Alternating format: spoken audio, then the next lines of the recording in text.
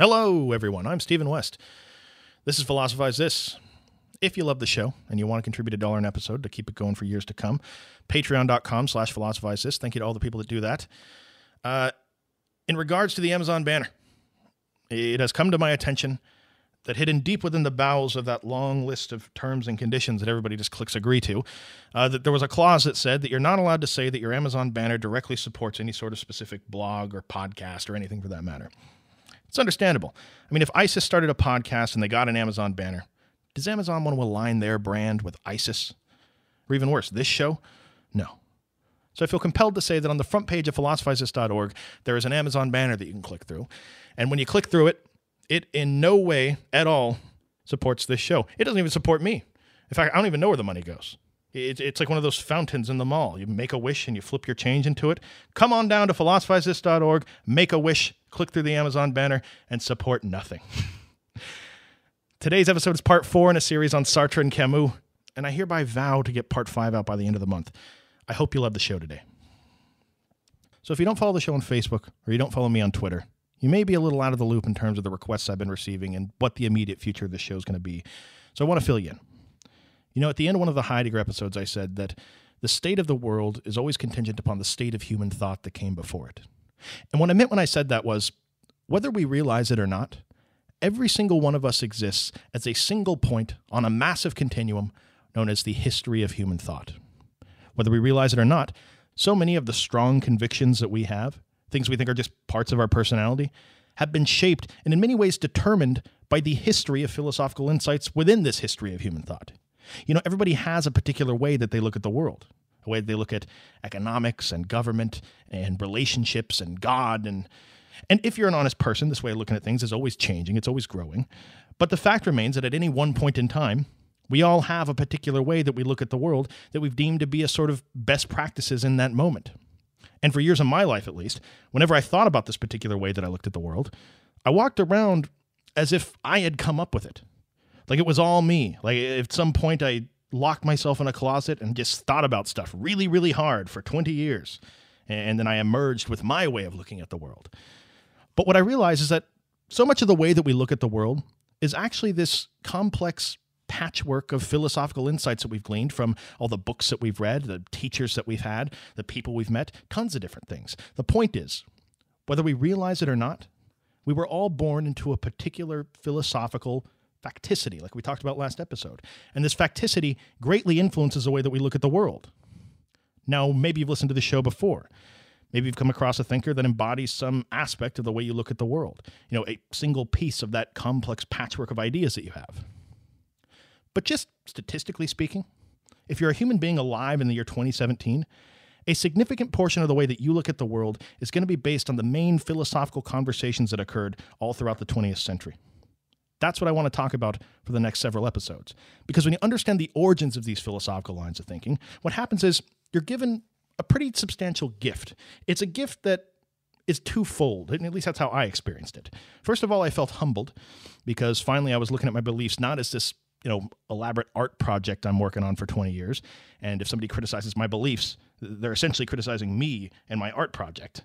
And second of all, I felt this weird sense of clarity because when you turn on the TV and, and you see the way that people are behaving, and you take a step back in Plato's cave, so to speak, and you see the shadows on the cave wall for what they are, when you see what's going on as a ripple effect of a you know philosophical stone thrown into a pond last century, it all starts to make a lot more sense.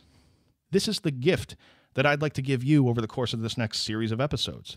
And when I thought about where to begin, the first thing I realized we're going to need is a much deeper understanding of Sartre, much deeper than the you know the one episode I did on him where I just briefly touched on freedom and responsibility. Look, bottom line is to fully understand Sartre's concept of radical freedom and responsibility, we have to understand his phenomenology. To understand his phenomenology, we have to understand Husserl, and to understand Husserl, we have to understand a long-standing kind of annoying tradition in the history of philosophy that people were starting to get very skeptical of right around the time of Sartre and Husserl. This episode is a story from philosophy that I'd like to tell you. It's a story to bring context to everything we've learned so far. Context I could never give when I was just doing chronological episodes. But nonetheless, it's context we need to be able to understand the questions Sartre thought were worth answering during his time. So here we go. The story begins with Descartes, godfather of modern philosophy. Now, in many ways, the story of Descartes is as old as philosophy itself. He's a mathematician turned philosopher, a mathematician fascinated by the level of certainty we can have when we say things like 1 plus 1 equals 2. And he wants to try to emulate this process of mathematical certainty and apply it to thinking, the goal being to arrive at certainty about things. You know, in his book, Rules for the Direction of the Mind, he talks about taking clear and distinct propositions and linking them together in the same sort of way a mathematician might say something like, okay, well, 1 plus 1 equals 2. All right, now, now 2 plus 5 equals 7. We know that, right? Okay, now 7 times 4 equals 28. All right, now let's stop. Let's, let's bracket all these clear and distinct propositions we have that have allowed us to progress up until this point. Now, imagine the same method applied to thinking. Except instead of chaining numbers together, you're chaining together clear and distinct ideas, arriving at a level of certainty comparable to 7 times 4 equals 28. That was the goal, at least. See, it's important to understand where Descartes' coming from with all this. Descartes takes a look back at the almost 2,000 years of philosophy that had been done before he was alive, and he's embarrassed, quite frankly. Nobody agrees on anything. Nobody has any sort of solid foundation for what they're writing. It's all just a bunch of smart people spewing volume after volume of unverifiable speculation about things. Is this really what we want philosophy to be? Descartes thinks that where all these philosophers went wrong was in their method. And by the way, this exact same sentiment applies just more generally to us in our personal lives. But he says that it's so easy to just fall into the trap where you're super interested in something, you want to feel like you know about a topic so badly that you, research it and you think about it for a while, you talk to people about it, and then this strange, very human thirst for knowledge takes over. You want to feel like you know about it so badly that you end up getting impatient and just assuming that you know everything about it when there really was a lot more to consider if you dug deeper. You know, to continue this math metaphor, it's like if you wanted to be done with the test so badly that you just write a bunch of answers that seem like they're about right, but you don't actually go through and show your work of exactly how you got there. This is what philosophers have been doing. Well, enough of that. Enough speculation, enough chaos in philosophy. We need certainty about things. And Descartes thought that if we're ever going to arrive at certainty about things, we need to be taking a much more rigorous look at the methods that we're using to arrive at it. He even uses that word. You know, he often talks about how philosophy should be looked at as a rigorous discipline. And what we've been doing so far, uh, it's been far from rigorous, let's just say. So Descartes lays down the gauntlet. From this point forward, let's all just agree on a couple things. Under penalty of being laughed at cast out of the room, relegated to the children's table at your next family reunion.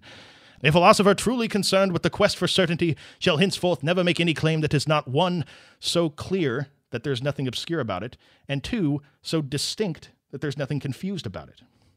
Clear and distinct. As clear and distinct as 1 plus 1 equals 2. You know, you can imagine these sort of hypothetical chains of ideas linked together by earlier philosophers. You can imagine propositions within their thinking that may look to Descartes like 2 plus 2 equals 5. And then what happens is all the rest of the ideas that are built on top of that proposition come crumbling down. This is the error. This is what's happened all throughout history. This is the world Descartes' living in. And here's him throwing down this gauntlet, trying to make sure it never has to happen again. We need to arrive at certainty.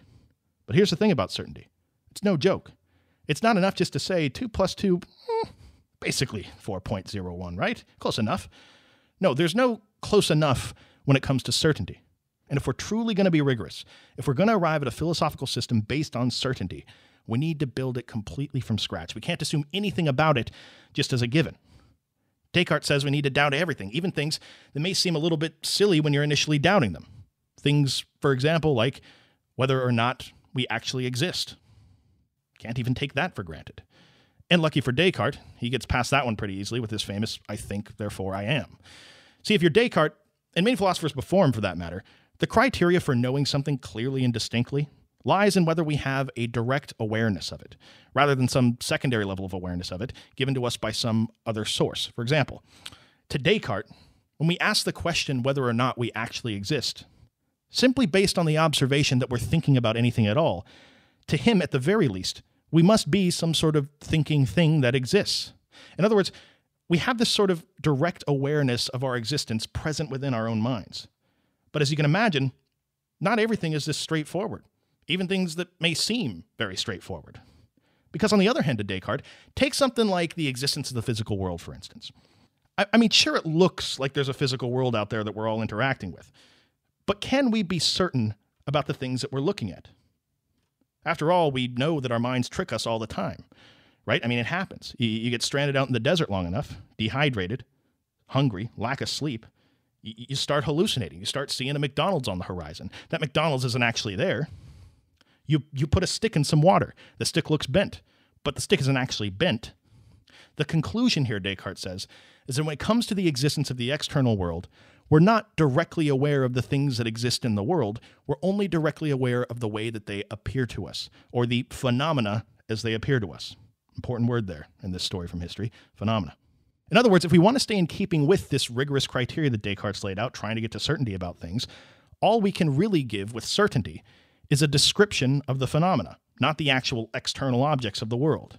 Though Descartes himself never talks about this process of describing phenomena, he just marks the distinction between phenomena and the objects of the world. That's his contribution. Now, this idea, this idea that we're something that's aware of our own existence that can't be certain about anything else outside of our existence is a textbook example of a way of looking at things in philosophy called solipsism. Now, Descartes never would have thought of himself as a champion of solipsism. He has ways around it. He had an argument, for instance, where the existence of God was a certainty, and that therefore God would never deceive us, planting all these thoughts in our head about a world existing if there wasn't actually one. Um, nobody else was buying it. But the important part is Descartes got us back on track right? He laid down the gauntlet of certainty. Finally, for the first time ever, philosophy had been turned into a truly rigorous discipline. And yeah, maybe Descartes didn't get too far at arriving at these clear and distinct propositions he talks about, but at least now we're back on the right track. Well, the story of philosophy goes on, time goes on. Thinkers come and go, presenting theory after theory, and they certainly make some progress when it comes to these things that we can say with absolute certainty. But the next big breakthrough occurs when a guy comes along that we've talked about many times on this show before, Mr. Immanuel Kant. Again, for the full explanation, go back and listen to the Kant episodes, but because most of you probably already know what I'm talking about, here's the lightning round edition just to frame things in this particular discussion. So, all of us listening to this look at the world around us, and we see a world that is solid, static, and unchanging. When in reality, if we put that table in front of you under an electron microscope, you'd see that it was actually 99.9% empty space and constantly moving. What this tells us is that our senses weren't necessarily evolved to be able to understand the fabric of reality itself, but really just to be able to create a map of reality that does a good enough job that we can survive and reproduce better than others in a particular set of climate conditions. See, Descartes made a mistake in Kant's eyes. Descartes made the assumption that the mind didn't contribute anything to the phenomena it was looking at. He saw us as just kind of these passive observers, just taking it all in. Kant, on the other hand, says that when you take a closer look at the mind, how it receives these phenomena, the mind actually contributes a lot to them. Kant says that for all intents and purposes, there are two distinct worlds that exist. There's the world of things in themselves, that's the world out there, beyond our basic map of reality that we're reading with our senses. And then there's the world of human experience, which is our map of the world, or a world where our senses perceive these things in themselves and create phenomena that we organize through various mental faculties to be able to make sense of them. This whole process producing for us our human experience of the world. In other words, we are active observers, organizing and governing these raw phenomena, not just taking them in. And to Kant, we can never know anything about this world of things in themselves, only the world of human experience. But the next chapter in this story is that now you have post Kantians coming along saying, okay, well, if we can't ever know anything about this world of things in themselves, how can we know for certain there's more than one thing responsible for all these phenomena?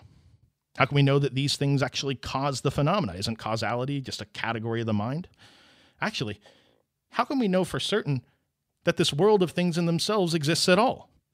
And the answer is, folks, at this point in philosophy, we can't. This is why Kant's referred to as a transcendental idealist. He's one of the first members in a long standing tradition in philosophy known as idealism, or the idea that all of reality, or at least as we can possibly know it, is non material and a construction of the mind. In other words, we can't know for certain. We can't just assume that there are these material objects existing in some hypothetical external world that are causing these phenomena we're experiencing. All that we can be certain about is what's going on in our minds. Again, certainty is what we're going for. We have to adhere to this rigorous set of criteria laid out by Descartes. Now, at this point, some of you are probably out there thinking, okay, what are we doing here, really? What exactly are we doing with philosophy? Look, when Descartes questioned whether we actually exist or not, I mean, it was a fun thought experiment. When Kant did it, I, respected the man's tenacity. But at a certain point, what, we can't know whether physical things actually exist? Like, how ridiculous is that? What, did Kant's dad never take him aside and sit him down and say, son, look, You're upstairs in that room all day doing your finger painting, wondering whether the world exists or not. Well, I got a news flash for you, son. It does. Look, see? Table. Ooh, ooh. Hey, hey, look over here. It's a newspaper. It's real. Hey. Oh, it's the classified section. Now you can get a real job. Ooh, it, it's real. Hey, you like real stuff, don't you? no. Now, of course, this isn't exactly how it went, but I mean, it can start to make you think. Look, I admire the whole quest for certainty thing. I, I understand what you guys are trying to do, and I appreciate it.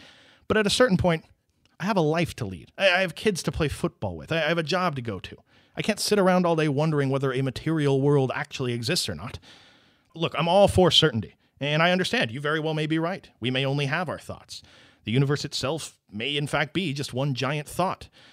But just the fact that it's been this long and you can't even confirm one of the most intuitively obvious things about existence, I'm worried about you. Uh, I'm worried you might be wasting your time. And more importantly, I'm worried you might be wasting my time.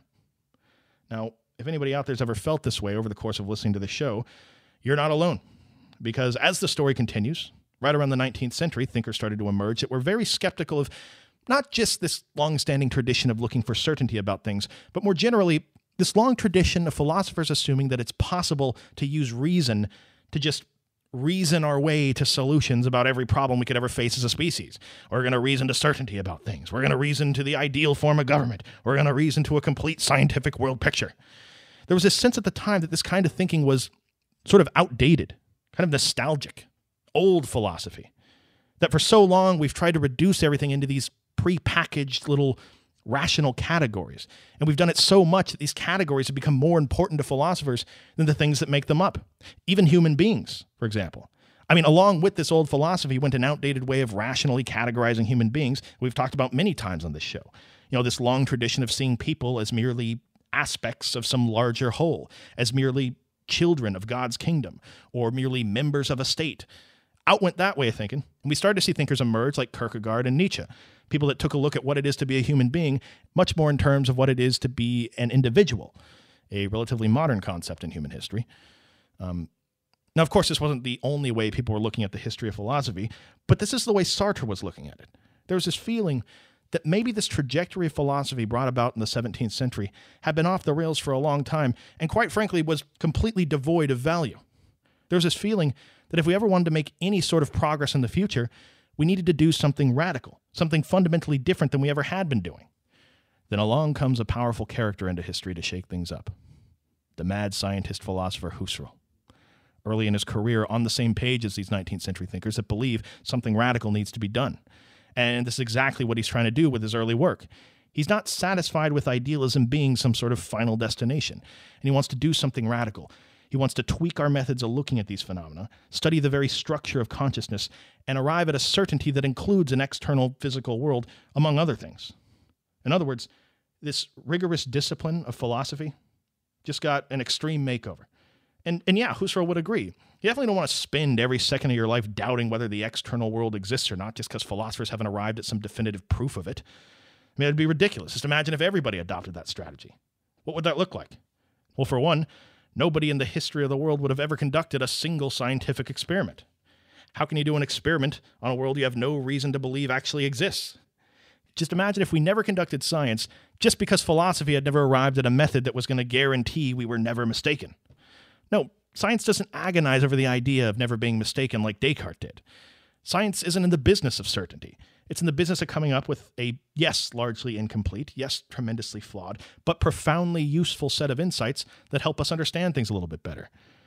Just because it's not certainty doesn't make it not useful. And again, in a weird way, if scientists were out there trying to look for complete certainty, they wouldn't be able to get anything done. Husserl makes a distinction between these two very different ways of orienting yourself to the world, both of which are useful in his eyes, by the way. On one hand, we have the phenomenological attitude, sometimes called the philosophical attitude. This is the former one. This is Descartes' gauntlet. This is the rigorous method of looking for certainty, the 100% honest way of looking at things, doubting everything, including your own existence, and then proceeding with caution from there. There's that way of orienting yourself to the world. And on the other hand, we have what he calls the natural attitude, or the sort of default way of orienting yourself to the world, the way of looking at things that all science is conducted through. Or as Husserl says, the way of looking at things that starts with several big presuppositions but nonetheless allows us to continue on with our daily lives or scientific inquiry without being paralyzed by this quest for certainty all the time. These are two different ways of approaching the world. Scientists don't doubt the kind of things Husserl doubts when he's looking for certainty. They don't doubt things like whether there's actually a correspondence between the thoughts I'm having and the object I'm perceiving. They don't doubt things like whether the mind itself is something that's even capable of arriving at objective facts. Yet they conduct scientific experiments assuming these things are in their favor. And it makes sense. Husserl would say that it's just simply not useful when you're doing scientific experiments to doubt whether the mind is something even capable of arriving at objectivity. Again, if you get too caught up on certainty, it sabotages your very ability to do science. Science is not certainty. This is the point Husserl's making. The phenomenological attitude and the natural attitude are mutually exclusive. It's impossible to look at the world in both ways simultaneously. For example, a, a normal everyday person immersed in the natural attitude might go down to the library, pick up some Husserl. They might read him. They might contemplate how they can know anything for certain. Maybe they even employ a few of his methods. They take a sort of recreational swim in the phenomenological attitude. But when they're done reading the book and they leave the library and they go on about their day, they're not still doubting whether the world actually exists or not. Now, on that same note, you can be the world's most die-hard phenomenologist. Let's say you work nine to five as a professional phenomenologist somewhere. The second that bell rings and you're taking your union standardized break, you're not sitting around in the break room wondering whether the vending machine over there is just a mental construction or not. Practicing phenomenology is practicing a new way of seeing the world and the things that make seeing the world possible at all. And Husserl would say, yeah, it's definitely possible for somebody to go way too far down this rabbit hole of the philosophical attitude, sitting around all day yelling at people. Well, well, you don't know. You you don't even know if you exist or not. So so how can you say that I stole that candy bar? And and that certainly would be a waste of time, right? But be careful, because you can go too far in the other direction too. You can spend your entire life writing off these sort of pointless armchair philosopher questions and go on for the rest of your days never really thinking about the presuppositions of the natural attitude and honestly believing that what you're looking at as you walk around in your everyday life is objective reality. There are people out there that talk about what we see as human beings as though it is objective reality. Example everyone will know. Uh, there are certain big famous celebrity proponents of science who are, by their own admission, proudly, willfully ignorant of philosophy. And these people will say that philosophy is essentially useless in today's world because it's been replaced by a better, more dynamic system called science that does everything philosophy used to do except better. Now, these people are a perfect example of what it looks like to go way too far down that rabbit hole of the natural attitude. I mean, I mean, does Bill Nye not realize that if it wasn't for philosophy, he'd just be Bill Nye, the guy? Like, I mean, seriously, these people, Bill Nye, Neil deGrasse Tyson, Stephen Hawking, all these people that are proud of the fact they've never read philosophy, and yet they cavalierly throw around these terms like objective reality and objective truth and facts. These people, one of a few things has to be true about them. Either they've never considered things like the limitations of their senses, the limitations of human knowledge, all the assumptions present in the natural attitude, which, given how little philosophy they've claimed to have read, is, is worrying, or the more charitable reading, the reading I force myself to believe as I sit in the corner neurotically rocking is that maybe they have considered all these boundaries between themselves and objectivity, but they use terms like objective truth because they see themselves as engaged in this war against religion and they feel like they need to be a direct substitute to it. In other words, maybe it's all a strategy. This is what I think it is. Like, maybe they're not lost in the natural attitude. Maybe they see that human beings are these things that really seem to enjoy having all the answers and harnessing objective truth. And then religion tells them they can find those sort of answers in the book of Genesis. So, in order to compete with that, let's sort of gloss over all the limitations of science and the human beings that ultimately have to conduct science, and let's proceed as though our method is the real method of arriving at objective truth. What I'm saying is, when you go too far down this natural attitude rabbit hole, you start looking at this stuff as though it is objective truth, it starts to look eerily familiar. You know, like in the 1400s, you had a priest that wore a big robe and he conducted a ritual at an altar and he spoke to God and told you what the objective truth of the universe was. In today's world, you have a scientist wearing a big robe, a lab coat, conducting a ritual, an experiment, at an altar, a laboratory, speaking to the universe and telling you what the objective truth about it is. You never go full natural attitude, is what I'm saying. But back to the story. Now, as you can imagine, when word gets out that Husserl's come up with this new method of phenomenology that may give us certainty about an external physical world, and much more, by the way, it starts to attract a lot of aspiring philosophers that see it as one piece of this radical change we're going to have to make in philosophy if we want to move forward. One of these thinkers that became a student of Husserl was named Martin Heidegger. Another one was named Jean Paul Sartre. Now, in an unexpected turn of events, a turn that many of Husserl's students couldn't even fully understand, right around the middle of Husserl's life, he does sort of an about face with his phenomenology. He takes it in the same direction so many other thinkers before him took it. He loses faith in his early work, and he becomes an idealist. Now, some students followed along with Husserl, adopting his new work, but other students were like, mm, no, no. They thought, sure, Husserl, th- this early work is far from perfect, but look, it can be fixed. A few clarifications over there, a little development over here. This is going to be solid. Maybe that's what I'll work on. Two of the thinkers that were part of this group were Heidegger and Sartre. Now, Heidegger, as we talked about, disagreed with some pretty critical aspects of Husserl, not the least of which was the entire idea of consciousness at all. Again, why do we need to think about ourselves like Descartes did back in the 17th century?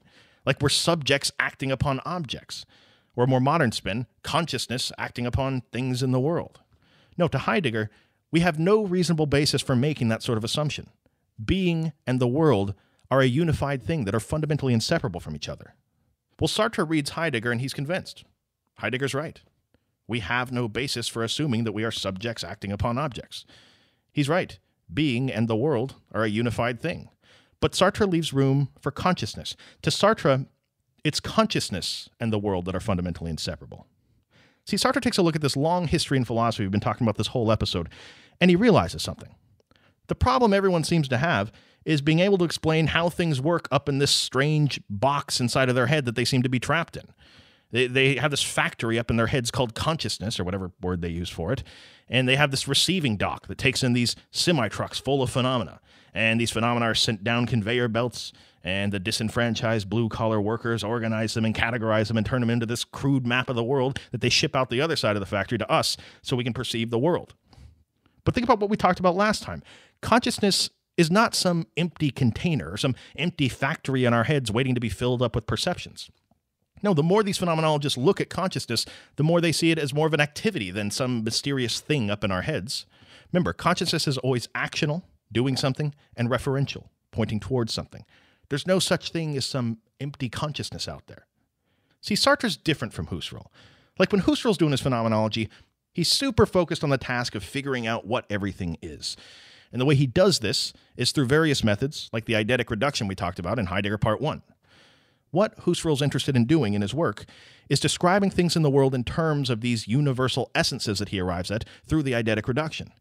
But remember, Sartre doesn't come from that school of thought. In fact, he'd see that whole process as just a misguided extension of this outdated old philosophy where we thought we could think about everything in terms of these neat categories and universals. No, Sartre's more focused on the individual and he thinks he can't ever know everything about an individual simply by looking at them in terms of what universal essences intersect by them. For example, it, it's so tempting to think that if we could figure out what the essence of something is, we would know what it is. If we had a piece of wax, we did the eidetic reduction and arrived at its universal essences, that we've essentially figured out what it is to be that thing.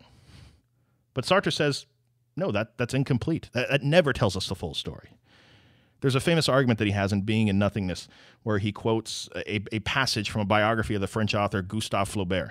And he's pointing out how ridiculous it is that the biographer that's writing it is trying to explain the psychology of Flaubert, the psychology of a human being, by using this sort of process of appealing to a bunch of universals.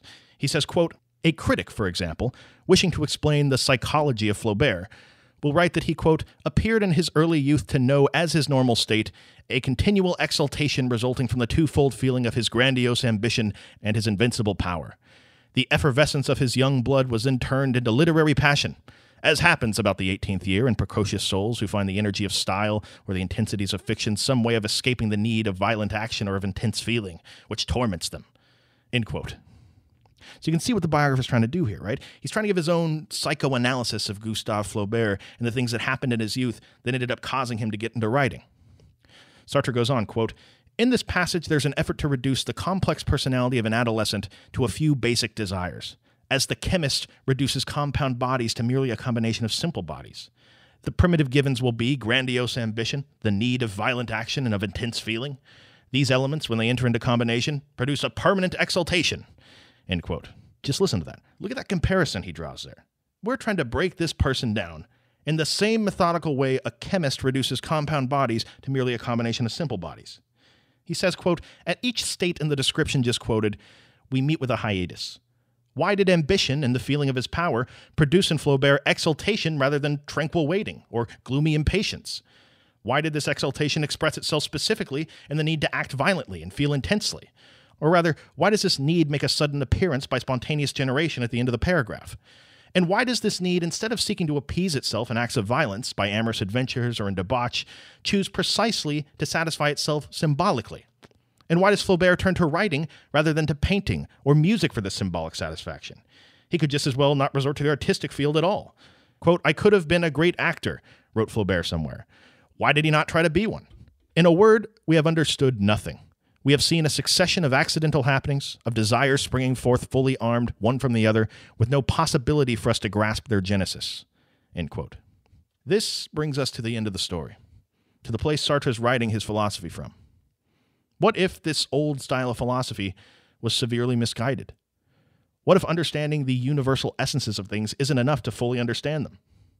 What if we don't have some consciousness factory up in our heads with these mysterious phenomena that leave us unable to be certain about anything but ideas?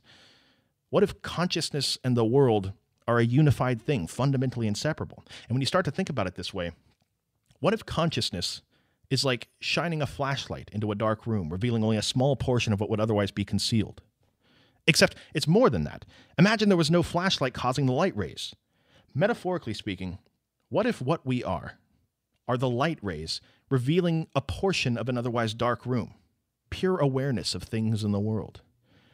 What if the idea that we needed a flashlight to produce the light rays, or that there was a barrier between us and the world, what if that was an assumption we'd been making all along? And as we prepare for next episode, where we talk about more of the details of Sartre's phenomenology, and more importantly, how it affects the way that we should look at ourselves, our lives, and the things that we all care about, Sartre would want us to consider what if we are consciousness and what if consciousness is radical freedom and responsibility?